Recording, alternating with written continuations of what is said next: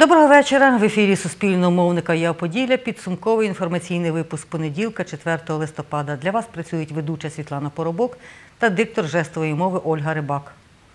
Акція Рік без Каті розпочинається в ці хвилини в Хмельницькому на Майдані Незалежності. Зараз на Майдані працює наша кореспондентка Анастасія Збродова. Скільки людей зібралося на акцію, які вимоги вони висувають, ми запитаємо в неї. Вона на прямому зв'язку.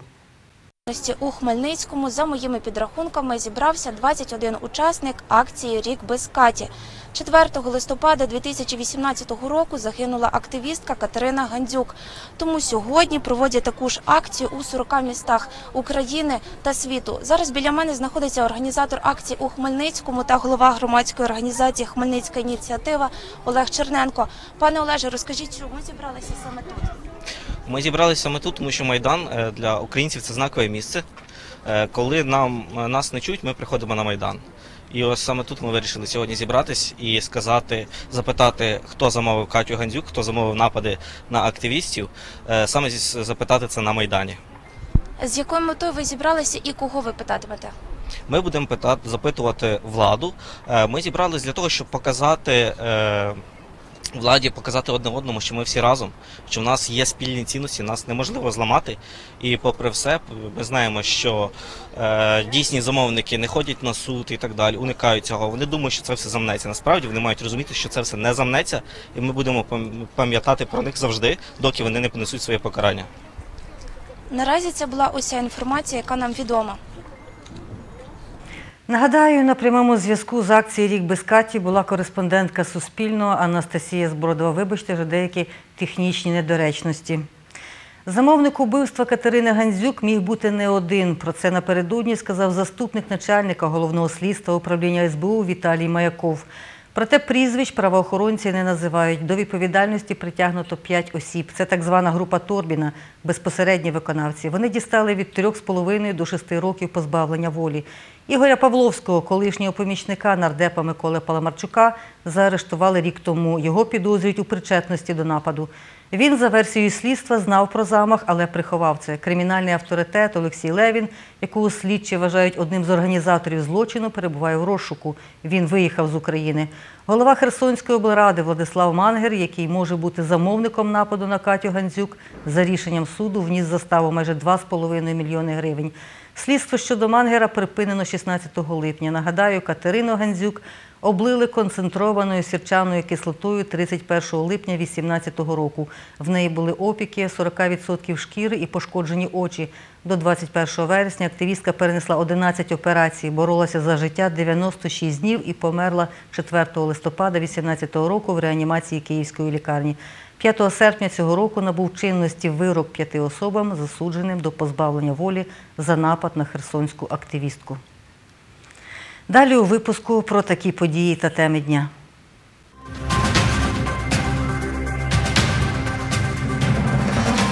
Хлопчик, якого залишили в Красилівському вікні життя цього літа, знайшов нових батьків. 80 офіцерів-прикордонників беруть участь у пілотному проєкті Нове обличчя керівного складу. Пішки з Хмельницького до Риму з рюкзаком вагою 40 кілограмів прийшов хмельничанин Іван Лишик. Хлопчика, якого підклали у вікно життя Красилівської центральної районної лікарні, всиновили. Про це повідомляє начальник служби у справах дітей Хмельницької облдержадміністрації Ніна Магур. За її словами, хлопчик потрапив до родини, яка перебувала в черзі на усиновлення кілька років. Це вікно життя Красилівської центральної районної лікарні. Саме тут знайшли немовля 5 липня цього року, пригадує старша акушерка Ганна Данилюк. О 5.20 було підкинуте у вікно життя, дитя чоловічої статі, переохолоджене. Санітарочка перша, яка вийшла на уборку відділення, замітила це все, спрацював е, сигнал. Дитя було підняте у відділення, де знаходилося в палаті інтенсивної терапії е, в палаті новонароджених. Дитя було зігріте і була надана перша допомога. Е, Вагою дитя е, кілограм 825 грам, 42 сантиметри. З першої доби життя і до 27 серпня хлопчик перебував у Хмельницькій міській лікарні у відділенні для недоношених дітей. За цей час він пройшов курс обстеження і додав у вазі до 3 кг 900 грамів, розповідає завідувачка відділенням Катерина Дем'яник. Після виходу сюжету мені було надзвичайно приємно, адже я ніколи не думала, що є настільки багато небайдужих людей. До нас приходили не одні, ні дві, ні двоє, ні троє. До нас приходили люди із Хмельницького, із Красилова, і просто небайдужі матусі, які надзвичайно перейнялися, ем, перейнялися долею цього хлопчика. Е, всі запитували, телефонували, чим ми йому чим вони би могли йому допомогти. Вдячна надзвичайно всім, тому що ну він нас був як маленький принц. Він мав ну ліками, він був забезпечений. 27 серпня із вагою 3900 дитину було передано до будинку дитини Берізька, розповідає Ніна Магур, начальник служби у справах дітей Хмельницької облдержадміністрації. Найперше, я хочу все-таки черговий раз подякувати мамі, яка зберегла життя дитини, яка поклала його у вікно життя. За це ми їй дякуємо. А далі е, доля дитини, я думаю, що склалася якнайкраще. Дитина станом на сьогодні усиновлена. Е, Більше того, і е, органи судочинства, і органи опіки і піклування зробили все для того, щоб е, дитина була вже вдома. Рішення суду набрало законної сили негайно. Ніна Магур каже, що родина, яка всиновила дитину, в черзі на усиновлення стояла кілька років. Я думаю, що цьому хлопчикові Бог дав життя і Бог дав гарну долю. А ще мені здається, що я спілкуючися з тими батьками, які є його усиновителями, мені здається, що це величезне щастя для. Для цієї родини гарні молоді люди е, прийняли таке рішення. Е, дякувати знову ж таки їм. Рішення не було спонтанним, а вони перебували на обліку з усиновлення. Вони бажали бути усиновителями. Вони стояли на черзі. Тетяна Ворожцова, Юрій Чорний. Новини на Суспільному. Хмельниччина. Нагадаю, хлопчик, якого 5 липня знайшли в вікні життя працівники пологового відділення Красилівської центральної районної лікарні, став першою дитиною, яку поклали до спеціально облаштованого боксу за 10 років існування проєкту на Хмельниччині. Наразі вікно життя є в кожному пологовому відділенні районних лікарень. Стан пацієнтки, яка перебуває в реанімації міської лікарні в Кам'янці-Подільському після дорожньо-транспортної пригоди, стабільно важкий. Про це повідомив головний лікар медзакладу Олександр Чернецький. За його словами, одна з трьох пацієнток травматологічного відділення лікуватиметься амбулаторно. Стан усіх трьох пацієнтів задовільний. Загрози життю іншій травмованій, що перебуває в реанімації районної лікарні, немає, каже головний лікар медичної установи Віталій Шевчук. Додає, ще двоє пацієнтів перебувають у травматологічному відділенні. Їхній стан задовільний. Нагадаю, дорожня транспортна пригода сталася 2 листопада близько 11 години ранку поблизу села Довжок Кам'янець-Подільського району. За попередніми даними правоохоронців, рейсовий автобус за маршрутом Залісся-1 Кам'янець-Подільський з'їхав в кювет та перекинувся. В результаті аварії 31-річний водій та 11 пасажирів автобуса отримали тілесні ушкодження різного ступеня важкості. Їх доправили в Кам'янець-Подільську районну лікарню. Деталі та причини дорожньо-транспортної пригоди встановлюються, каже начальниця сектору комунікації управління Нацполіції в області Інна Глега.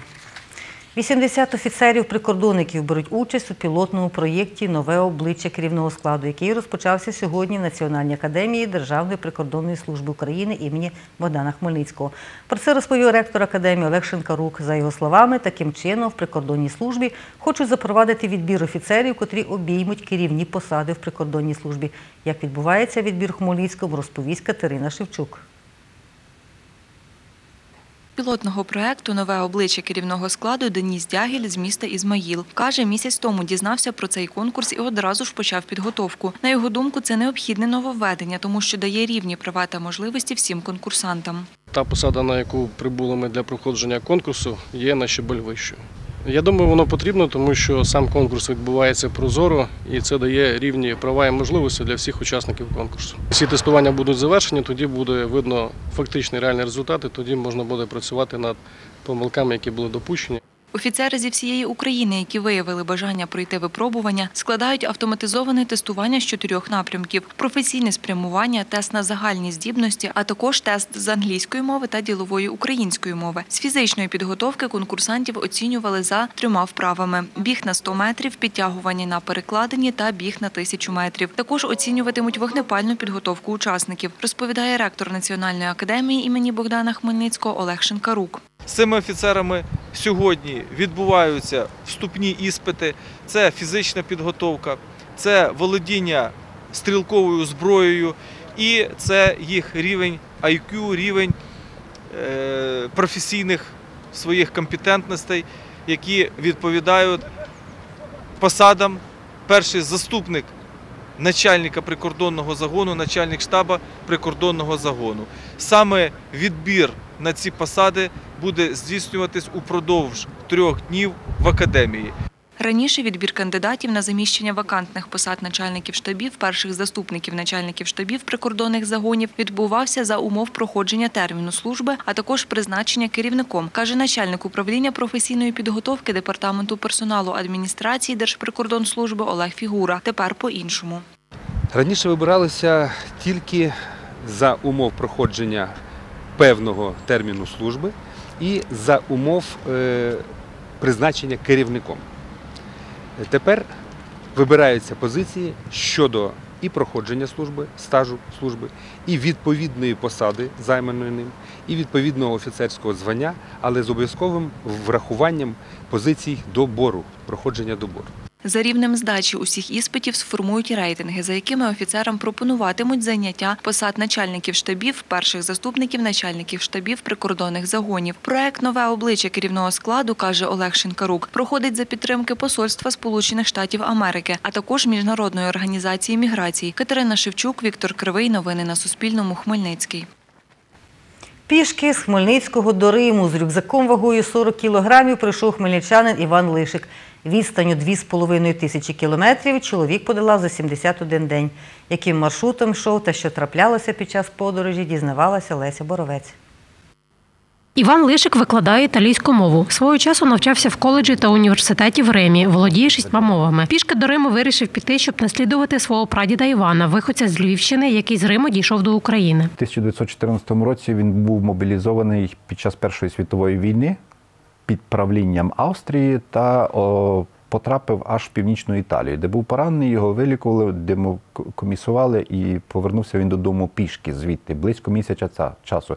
Це північна Італія, а тому він приблизно місяць часу добирався. Пішу подорож до Італії Іван Лишик розпочав у липні цього року. Каже, хотів таким чином вийти із зони комфорту. З собою взяв харчі, мінімум одягу, спальник та намет, в якому й ночував у лісах, полях та горах Європи. Подорож тривала 71 день, все виключно пішки. Рюкзак на початку був надзвичайно важкий, зважував його на новій пошті перед виходом в 40 кілограмів. Згодом він почав легшати, я почав йти швидше, хоча на початку з тією вагою я міг проходити не більше 30 кілометрів в день. Коли мене рюкзак важив вже близько 20-25 кілограмів, я міг проходити на день від 40 до 45 кілометрів. З України через Польщу, Словаччину, Австрію, Угорщину, Словенію, вздовж Адріатичного моря через Венецію до Риму. Йшов другорядними автошляхами у будь-яку погоду, керуючись картою та компасом. Каже, вразила природа. Протягом цього походу було п'ять зустрічей з кабанами. Перший раз це було невелике стадо, яке дремнуло від мене, почувши від мене. Кабан це істота, яка тікає від людини, як і будь-яка звірина, якщо вона не відчуває загрози для власного життя. Одного разу серед ночі, почувши рик, е, ну, хруп кабана, в мене охололи ноги нижче колін. Страх людині все одно присутній. Додому повертався автобусом. Додає, наступного року планує подорож Україною. Похід по воді на надувному човні по всьому Дністру, аж до Чорного моря. Це близько 1300 кілометрів по воді. Теж приблизно десь кілометрів 35-40 в день. Я вже це робив. Я вже це робив минулого року за 3,5 дні з Жванця до е, села Березівка, Хмельницька область, 120 кілометрів за 3,5 дні на веслах. Навіть спеку 35. І це можливо. І я знаю, що я це поможу. У перспективних планах мандрівка до Норвегії. Фьорд, Норвегія. До вікінгів. У мене якийсь дух їх трохи, напевно, є. Вони звідти плили аж доходили до нас. В нас їхній ще й можливо і гений. Неможливо. А так є підтверджено фактами. То чому не навпаки? Я налаштований це надзвичайно рішуче. Іван Лишик вважає, немає нічого неможливого, якщо повірити в себе. Я дійшов до Риму, а ти? Леся Боровець, Віктор Кривий. Новини на Суспільному. Хмельницький. Легкоатлетка Марина Бех-Романчук найкраща спортсменка жовтня в Україні. Про це повідомляє Національний олімпійський комітет України. Її особистого наставника, заслуженого тренера України Вадима Крушинського, названо найкращим тренером жовтня. Нагадаю, на чемпіонаті світу з легкої атлетики досі, що в Катарі 24-річна хмельничанка з результатом 6 метрів 92 сантиметри у стрибках у довжину принесла Україні срібну медаль, пропустивши вперед лідера сезону німкеню Малайку Міхамбо. Сім команд взяли участь у 72-й міській спартакіаді з гандболу серед юнаків середніх загальноосвітніх шкіл Хмельницького. Змагання відбуваються в дитячо-юнацькій спортивній школі номер 1 Як стартувала спартакіада, бачив Андрій Гуменний.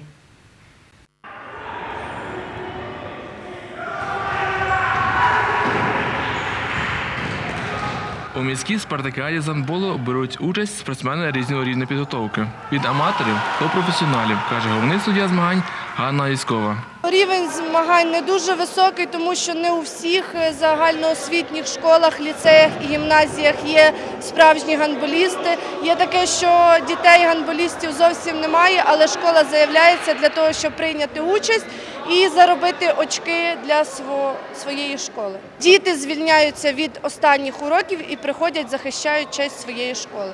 Фаворит міської спартакіади команда ліцею номер 2 Минулоріч вона стала переможцем. Учасник змагань Олександр Бабій каже, у їхній команді професійні гравці. Шосте місце на Україні. І, і так зі школи 11 рік виіграємо з гандболу попідряд. Не всі професійні, але є більша кількість професійних, хто що займається професійно. У протистоянні команд ліцею номер 15 та ліцею номер 17 остання поступилася на один м'яч. Зіграли з рахунком 8-7.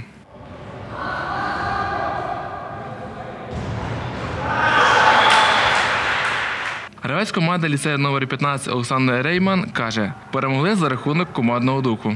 По-перше, це виграти, це була одна така з головних позицій. А друга дотримувати правил і старатись ну, командний дух тримати, щоб ніхто не посипався. Останній гол був забитий на останніх двох хвилинах матчу, і це був вирішальний гол. Олександр Рейман ділиться, поки фаворитів горі не бачить. Додає, за рік команди змінилися. Дуже було важко, і грали, е, не було розриву навіть в два, два гола. І йшли один в один постійно. Виігрували вони, виігрували ми. Пройшов рік, команди помінялись. Під час зустрічі будемо бачити, яка сильніша, яка слабша. Цього року їхня команда має новий склад, додає Олександр. Є новачки, в нас є пару новачків. Є такі просто, що любителі просто стукали м'ячом в спортзалі і оказались на цьому полі. А є такі, що грали за школу вже не перший рік, так як я. Учасник змагань Ярослав Боуш грав сьогодні вперше. Того року стояв е, з 11 класу, а він уйшов і більше в школі немає нікому стояти. Тільки я. Фінал змагань і нагородження спортсменів відбудеться 12 листопада. Андрій Гюменний, Віктор Кривий. Новини на Суспільному. Хмельницький. Наш випуск завершено. Наступний вийде в ефір Суспільного мовника Я Поділя о 20.30, тож до зустрічі.